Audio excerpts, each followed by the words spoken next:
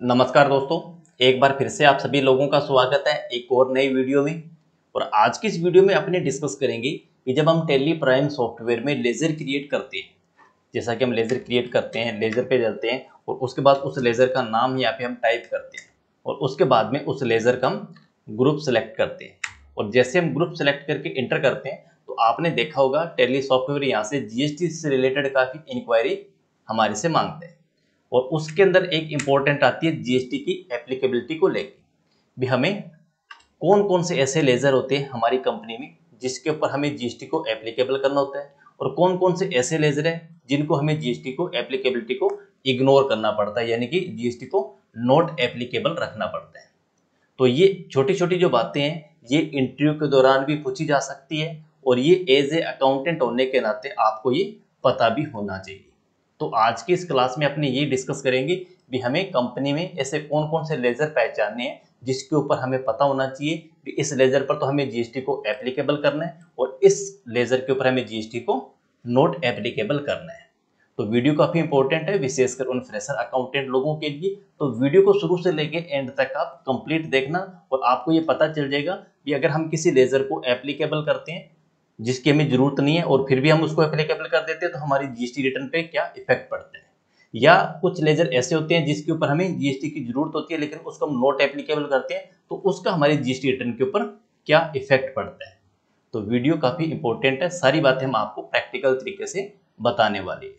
तो वीडियो की शुरुआत करें, उससे पहले आपसे एक छोटा सा निवेदन भी है अगर आप इस चैनल पर पहली बार आए तो चैनल को सब्सक्राइब ज़रूर कर लेना, क्योंकि आगे भी आपको इस चैनल पर इसी टाइप की नॉलेजेबल वीडियो लगातार मिलती रहेगी।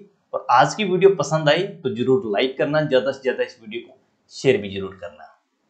तो सबसे पहले अपने चलते हैं जब हम कोई लेज़र क्रिएट करते हैं। और लेज़र हम जब क्रिएट करेंगे तो ये हर एक लेज़र के अंदर आपसे ये सारी बातें नहीं पूछी जाएँगी। कुछ एक लेज़र होते हैं जिसके अंदर ये पूछी जाएगी। जैसा कि हमारी कंपनी है, और ये हमारी कंपनी जीएसटी के अंदर रजिस्टर्ड है।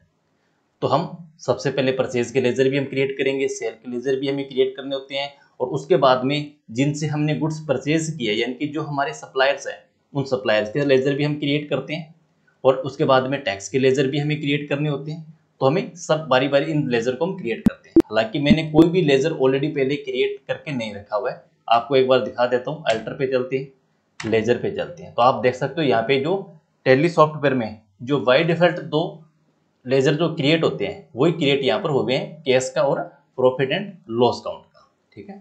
बाकी के लेजर हम यहाँ पे क्रिएट करते हैं। तो हमारी परचेज है, मान लीजिए जी एस टी पाँच परसेंट के हम परचेज करते हैं। तो सबसे पहले हम यहाँ पर G S T five percent purchase का लेजर हमने क्रिएट कर लिया ठीक है?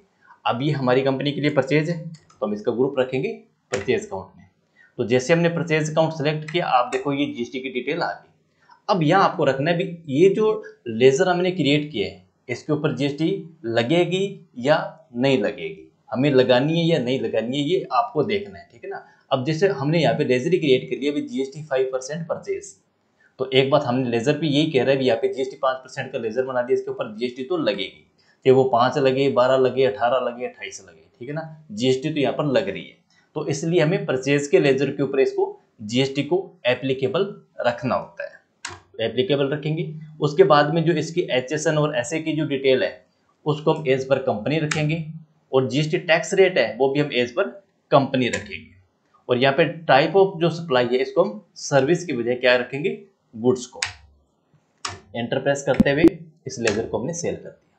ये हमने परचेज का लेजर तैयार किया और परचेज के अंदर आपको एप्लीकेबल रखना होगा। अगर आपकी कंपनी में जीएसटी रजिस्टर्ड है और आप जो परचेज कर रहे हो, उस परचेज के ऊपर जितना इनपुट आपको मिलेगा, उसका आईटीसी आपको क्लेम करना है। इसी तरीके से हम एक जीएसटी पाँच परसेंट सेल का लेजर हमने क्रिएट कर दिया। और सेल का लेजर है इसका मतलब ग्रुप इसका रहेगा सेल अकाउंट तो क्या इस सेल के अकाउंट के ऊपर भी जीएसटी लगेगी?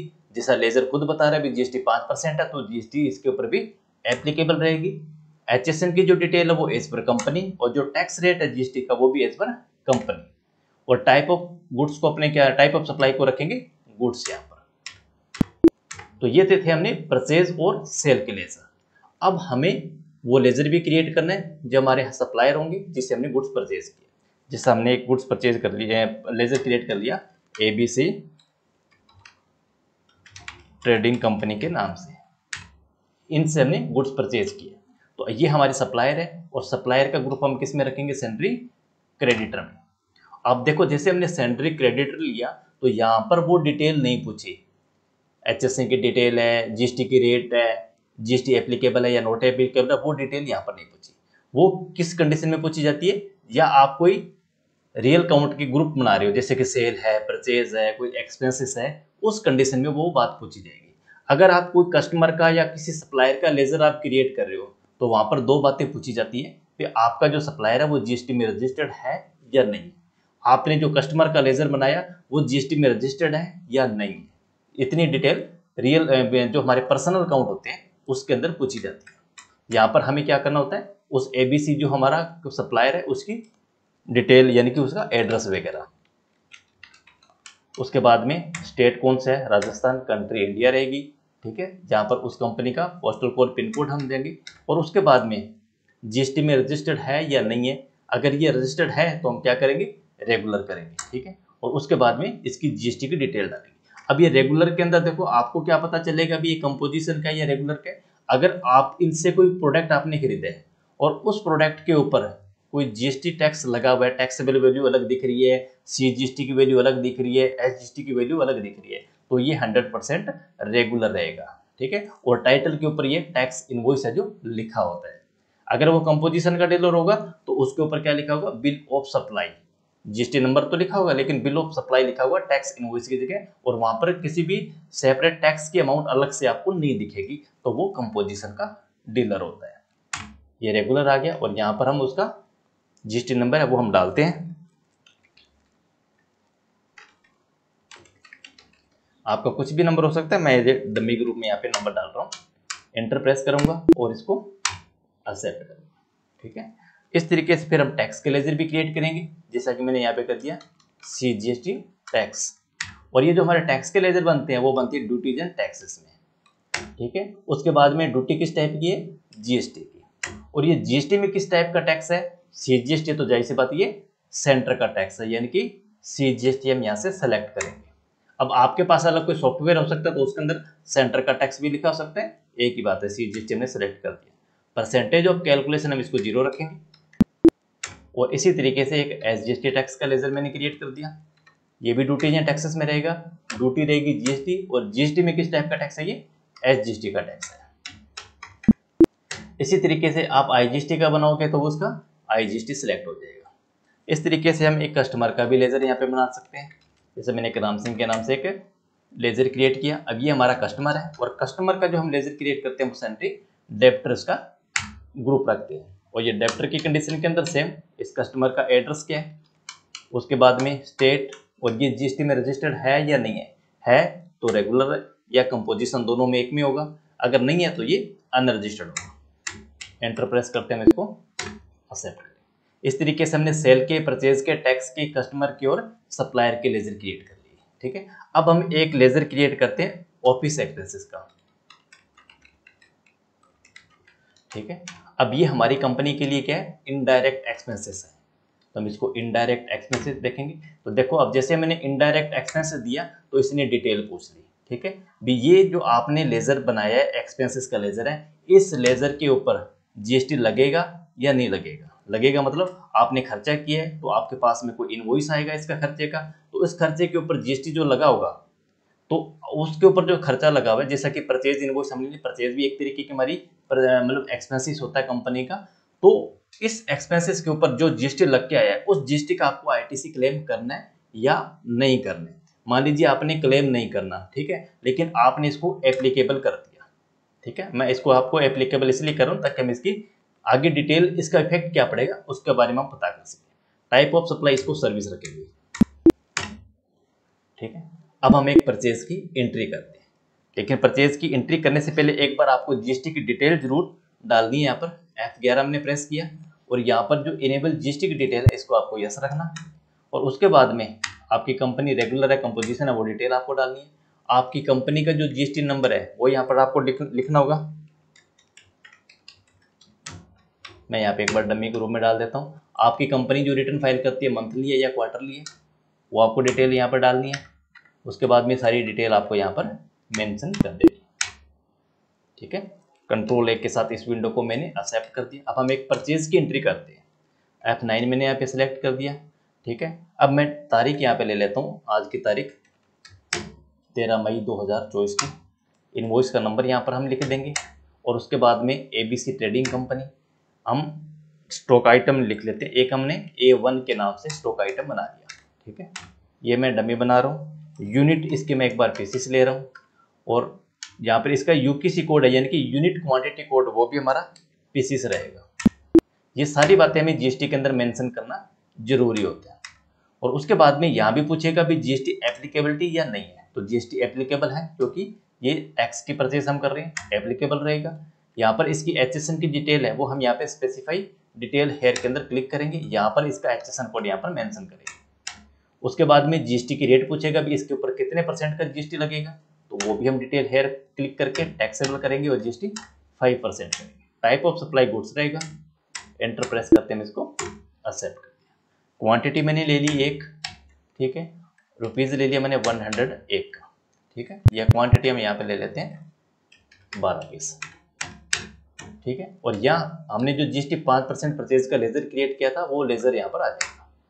ठीक है? और इसके बाद में यहाँ पर जो डिटेल हमने डाली थी स्टॉक आइटम की ए वन की, वो डिटेल यहाँ से अगर आप चाहो तो मॉडिफाई भी कर सकते हैं।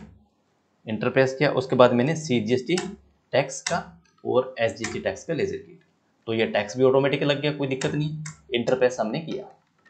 और इस वाउचर को मैंने सेव कर दिया। अब इसी तरीके से हम एक सेल की एंट्री भी करते हैं। ठीक है? कस्टमर हमारा था राम सिंह का। आइटम ए वन हमने कर दी। दो पीसेस हमने सेल कर दिए। और एक का जो रेट हमने डाल दिया, मान लीजिए, एक सौ पचास रुपये का। ठीक है? यहाँ पर हमने जीएसटी सेल का पाँच परसेंट का लेजर क्रिएट किया था, वो यहाँ आ जाएगा। डिटेल आ जाएगी। उसी तरीके से C G S T tax और एस जी टैक्स एंटरप्राइज करते हैं हमने इसको। एंट्री करते हैं। ये बेसिक बात है। हम परचेज और सेल की एंट्री करते हैं। अब हम ऑफ़िस एक्सपेंसिस जो हमने जो एक लेजर क्रिएट किया था, उसकी एंट्री हम एक पेमेंट वाउचर में करते हैं। ऑफ़िस एक्सपेंसिस को मैंने एंट्री कर दी और वन हंड्रेड रुपीज़ का यहाँ पर इसकी अमाउंट डाल दी। ठीक है? और इसको हमने कैश पेमेंट दिखा दिया। ये सारी ट्रांजेक्शन हमने कर दी। अब देखो, इसका इफ़ेक्ट आपको कहाँ देखने को मिलेगा? जीएसटी रिटर्न पे चलते हैं। अब जीएसटी रिटर्न पे जाने के पास आपके पास कई ऑप्शन है। आप चाहो तो यहाँ पे डिस्प्ले पे जाके स्टेशनरी रिपोर्ट पे जाके, जीएसटी रिपोर्ट पे भी जा सकते हो। या अगर आप शॉर्टकट जाना चाहते हो तो आपको ऊपर हेडिंग में दिख रहा है गो टू का ये वाला ऑप्शन यहाँ पर आपको एल्ट जी प्रेस करना है और यहाँ पर आपको सिलेक्ट करना है जी आर कौन सी है? हमारी शेयर की रिटर्न जाएगी तो जी वन सेलेक्ट करेंगे। ठीक है? हमने मई मंथ में एंट्री करी है तो एक पाँच से लेके इकतीस पाँच कम पीरियड देंगे। ठीक है? अब यहाँ देखो, यहाँ क्या दिखा रहा है आपको? अनसर्टेन ट्रांजेक्शन ठीक है? ये कह रहा है कि आपने एक जो ट्रांजेक्शन करी है, उसके अंदर आपकी कोई ना कोई एरर है। अब एरर आपकी क्या है? इसके ऊपर अपने क्लिक करते हैं। एंटर प्रेस करेंगे। तो यहाँ कह रहे हैं एचएसएन और सेक इनवेलिड और नोट स्पेसिफाइड एंटर प्रेस करेंगे। राम का हमने यहाँ पर लेज़र है जो सिलेक्ट कर दिया। इसने दिखा दिया कि यहाँ पर एच एस एन सेक की जो डिटेल है वो इनवेलिड है या फिर आपने वो सही नहीं डाली है। ठीक है? एंटर प्रेस करेंगे। अब देखो इसके अंदर क्या डिटेल आ रहा है। रामकेश सिंह का जो लेजर है, इसके अंदर किसी टाइप की कोई डिटेल है जो नहीं पूछी है, ठीक है? डिटेल यहाँ पर डालेंगे। अब यहाँ कह सकता है कि आपका जो अमाउंट है, यहाँ पर आपने कोई अमाउंट इसके एच कोड वगैरह आपने ये गलत डाला होगा ठीक है? न्यू डेट हम एक चार दो हज़ार चौबीस यहाँ पे कर देंगे। टैक्सेबल रेट आपके सही है या नहीं है, वो भी आपको चेक कर लेना एक बार। एंटर प्रेस करेंगे, ठीक है? एच डिटेल के अंदर अब हमने यहाँ पे क्या करा? एज पर कंपनी रखा हुआ है। ठीक है? इसको हमने गुड्स रखा हुआ है। एंटर प्रेस करेंगे और इसको हम वापिस आ जाओ। एक्सेप्ट करेंगे। अब देखते हैं इसके ऊपर क्या इफ़ेक्ट पड़ेगा। ठीक है? अब ये, देखो, अभी भी यहाँ पे एक वो एरर दिखा रहा है। इनवेलिड और मिसिंग यानी कि ये कह रहा है आपकी जो जीएसटी की जो डिटेल्स है एच एस एन कोड से रिलेटेड वो सही नहीं है। तो अब इसके अंदर आपको पता होना चाहिए भी आपने ये जो प्रोडक्ट मतलब बनाया है, इसकी जो वैल्यू है, जो इसका एच एस एन कोड है, वो सही है या नहीं है। ठीक है ना? इसकी डिटेल इसके लिए हमारे से ये पूछा रहा है। स्टॉक आइटम वाइज अगर अपने देखते हैं तो ए वन है, ठीक है ना? अब इसकी टैक्सेबल वैल्यू आ रही है। अब यहाँ पर इसकी जो डिटेल है प्रोवाइड एच कोड वो आपको यहाँ पर मेंशन कर सकते हो और वहाँ पर भी आपको करके आनी पड़ेगी। एक चार दो हज़ार चौबीस हम इसको एप्लीकेबल कर देंगे। ठीक है? अब वो जैसे एच एस एन कोड सही हुआ तो वो डिटेल है जो सही होगी। अब वो जैसे सही हुई तो ये हमारी बी टू सी के अंदर इसके ट्रांजेक्शन आ गई। ठीक है, अब यहाँ पे देखोगे आपकी जो अनसर्टेन ट्रांजेक्शन है वो ज़ीरो आ रही है। ठीक है, और यहाँ पर एक हमारी जो वैल्यू आ रही है, एक यहाँ पे देखो वाउचर काउंट्स कितना आ रहा है? एक ही आ रहा है। ठीक है, दो सौ पचासी रुपये की इसकी वैल्यू है, और वही इनवॉइस यहाँ पर आ रहा है। यहाँ पर भी ये बी टू सी से माल का लेकिन अब हमने जो एक एंट्री करी थी ऑफ़िस एक्सपेंसेस की। ठीक है एक बार हम उस लेजर को अल्टर करते हैं ऑफ़िस एक्सपेंसेस ठीक है ना? अब इसके अंदर हमने यहाँ पर एप्लीकेबल किया था, ठीक है? अब मान लीजिए आपने इसके अंदर डिटेल के अंदर यहाँ लिख दिया भी एच एस एन कोड इसका कुछ आपने डाल दिया, ठीक है? और इसकी डेट हम एक चार दो हज़ार चौबीस कर देते हैं। और आपने इसका टैक्स रेट भी यहाँ पर डाल दिया अठारह परसेंट का, ठीक है? एक चार चौबीस हमने ये कर दिया। टैक्स रेट आपने डाल दिया। और इसकी एंट्री आपने हंड्रेड रुपीज़ की हमने ऑलरेडी करी दी थी। इसका लेज़र हमने ओपन करके देखते हैं। अकाउंट्स बुक लेज़र पे चलते हैं ऑफ़िस एक्सपेंस पे चलते हैं। ठीक है, वापस इसकी एंट्री हम मॉडिफाई कर देते हैं। ये एंट्री अब वापस इसकी जीएसटी रिटर्न के ऊपर अपने चल के देखते हैं क्या इफ़ेक्ट पड़ेगा इसका। L G G S T R one को देखेंगे और फिर हम G S T R three B को देखेंगे। ठीक है ना? अब वो जो डिटेल्स आ रही है, वो उसकी डिटेल यहाँ पर इसने किसी भी टाइप की कोई एरर है जो फ़िलहाल नहीं दिखाई है। अगर ये डिटेल है नोट एक्सपेक्टेड की अगर हम बात करें सेल वाली जो इसकी डिटेल है ट्रांजेक्शन्स और ये ऑफ़िस एक्सपेंसेस की, ठीक है ना? अब यहाँ ये क्या दिखा रहा है? देखो not relevant on this return यानी कि दो ऐसे वाउचर्स हैं जो इस रिटर्न के अंदर नहीं है। कौन कौन से नहीं है? एक तो परचेज जो कि हमारा जी एस के अंदर नहीं आएगा, और दूसरा, ये जो पेमेंट वाउचर की एंट्री करी थी वो डिटेल इसके अंदर नहीं आएगी। अगर आपको ये, इस टाइप की एक्सपेंसेस की अगर कोई एंट्री की ये एरर यहाँ पर देगा कि आपने ये जीएसटी इसके ऊपर एप्लीकेबल तो कर दिया बट आपने इसके ऊपर कोई जीएसटी चार्ज है वो नहीं किया हुआ है। हम एक बार इसको जीएसटी थ्री बी की रिपोर्ट को हम चेक करते हैं कि वहाँ पर जितना हमने परचेज किया था, उसका आईटीसी प्रॉपर आ रहा है या नहीं आ रहा है। जीएसटी थ्री बी को अपने चलते हैं। ठीक है? यहाँ पर भी किसी भी टाइप की कोई एरर नहीं है। मतलब अभी तक आपकी ये जो सॉफ्टवेयर है रिटर्न प्रॉपर सही बना रहा है। और यहाँ आपका जो आईटीसी है, वो आईटीसी आपका एज पर परचेज था, वो बिल्कुल सही आ रहा है तीस तीस रुपए का। यानी कि हमारी अब जी एस वन और जी एस थ्री भी, वो प्रॉपर ओके शो हो रही है। लेकिन अभी हमने जो ऑफ़िस एक्सपेंसिस की जो एंट्री करी थी, उस एंट्री का इसने अभी फ़िलहाल किसी भी टाइप का कोई एरर नहीं दिया। और हो सकता है अब जब आप रिटर्न बनाओ, कुछ ऐसे लेजर हम क्रिएट करेंगे जो होंगे जैसे हम एक इसी लेजर को वापस एक मॉडिफाई करके देखते हैं सेल वाले लेजर को। हमने डिस्प्ले अकाउंट्स बुक लेजर ठीक है? हमारा कस्टमर था राम सिंह का और इसके ऊपर हमने यहाँ पर, इसकी जो अमाउंट है कुछ इस तरीके से दे देते हैं। और उसके बाद हम इसका एक लेज़र क्रिएट करते हैं राउंडेड ऑफ़ का। ठीक है?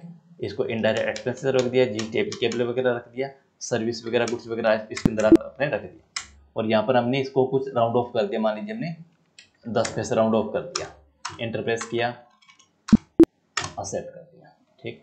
अब वापस हम G S T R one पे चल के देखते हैं। L T G G S T R one select करते हैं ठीक है। अब यहाँ पर भी इसने किसी टाइप की एरर है जो नहीं शो करी। क्योंकि अगर यहाँ पे कोई एरर आएगा तो यहाँ पर जो आपकी करेक्शन नीडेड के अंदर जो ऑप्शन आएगा, यहाँ पर आपको डिटेल है जो दिखा देगा। अब हमने उस लेजर को एप्लीकेबल भी कर दिया, लेकिन उसके ऊपर हमने जीएसटी जो चार्ज नहीं किया। तो ऐसी स्थिति के अंदर आपको पता भी इस टाइप के एक्सपेंसेस है जिसके ऊपर हमें जीएसटी चार्ज जो नहीं करने तो उन लेजर को आप पहले से ही आप नोट एप्लीकेबल करके रखिएगा, ताकि आपको इन फ्यूचर जीएसटी से रिलेटेड कोई दिक्कत आएगी तो वो आपको नहीं आने देगा। अगर आपने ऐसे लेजर क्रिएट कर लिए जो जिनके ऊपर जीएसटी एप्लीकेबल है नहीं नहीं तो आप कोई उसका एक्सपेंसेस का इन्वॉइस बनाते हो और नहीं आप, आपके पास जो इन्वॉइस आएगा चेक पे जीएसटी लगा हुआ है उसका आपको आईटीसी क्लेम करना है। तो ऐसे लेजर्स आपको नोट एप्लीकेबल करना है। लेकिन आपको परचेज और जो सेल के लेजर है, उनको आपको एप्लीकेबल करना पड़ेगा। अदरवाइज़ आप उनको नोट एप्लीकेबल कर दिया तो आपके सेल इन्वॉइस के ऊपर जीएसटी है जो एप्लीकेबल नहीं करेगा। हम इसको एक बार करके दिखाते हैं आपको लेज़र पे चलते हैं अपने, और सेल का लेज़र हमने सेलेक्ट कर लिया अब मान लीजिए मैंने इसको नोट एप्लीकेबल कर दिया, ठीक है? इंटर प्रेस किया, और उसके बाद में अब मान लीजिए हम एक सेल का लेज़र एंट्री करते हैं सेल दो की, चौदह तारीख के अंदर। केस में एंट्री करते हैं ए वन आइटम ले लेते हैं, दो पीस हम ले लिया, एक सौ पचपन रुपये का रेट हमने डाल दिया, ठीक है? C G S T. आप देखोगे इसके अंदर इसने टैक्स की कैलकुलेशन नहीं करी। क्यों नहीं करी? क्योंकि ये जो सेल का लेज़र हमने क्रिएट किया था, इसके ऊपर हमने, इसको सॉफ्टवेयर को ये बता दिया कि आपको इसके ऊपर जीएसटी जो चार्ज करना ही नहीं और जैसे हम इसको जीएसटी एप्लीकेबल कर देंगे, इसको गुड्स रखना है। और जैसे हम इसको एप्लीकेबल कर देंगे तो आप देखोगे यहाँ पर यह टैक्स लगना ऑटोमेटिक स्टार्ट हो जाएगा। ठीक है? तो आपको ये जिसके ऊपर जीएसटी लगेगा, उसके ऊपर आपको एप्लीकेबल करना ही करने अदरवाइज़ आप उन दूसरे लेजर को इग्नोर ज़रूर कर देना, उसको नॉट एप्लीकेबल ही करना। नहीं तो आपकी जीएसटी आर वन के अंदर वो बारी बारी आपकी वो एरर है जो शो करेगा ही करेगा। आई होप कि आपकी इस वीडियो से सारी वो जो कन्फ्यूज़न था, वो दूर हो गया होगा कि हमें किस किस टाइप के ऊपर हमें जीएसटी को एप्लीकेबल करना होता है और कौन कौन से लेजर के ऊपर हमें नोट एप्लीकेबल रखना होता है। तो वीडियो पसंद आई तो ज़रूर लाइक कर देना, ज़्यादा से ज़्यादा वीडियो को शेयर भी ज़रूर